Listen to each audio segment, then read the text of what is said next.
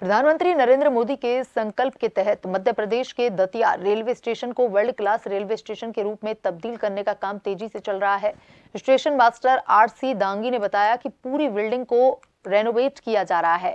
Foot bridge बनाए जा रहे हैं, गेट बनाए जा रहे हैं। 22 अगस्त 2023 को दतिया में केंद्रीय रेल मंत्री अश्विनी वैष्णव ने सांसद संध्या राय और रेलवे के सीनियर अधिकारियों के साथ दतिया रेलवे स्टेशन का बारीकी से निरीक्षण किया और प्रधानमंत्री नरेंद्र मोदी के संकल्प के अनुरूप इसे बनाने की योजना पर चर्चा की।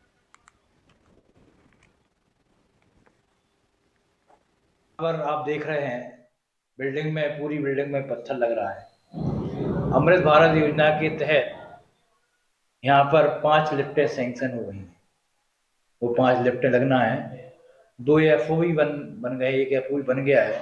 दो, एक एफ़ भी अपना बनना है। ठीक है? दोनों तरफ़ गेट बन रहे हैं। एंट्रेंस गेट बन रहे हैं। और उस सर्कुलेटिंग एरिया में पूरा हरा भरा रहेगा, पूरे पेड़ पौधे लगाए जाएँगे।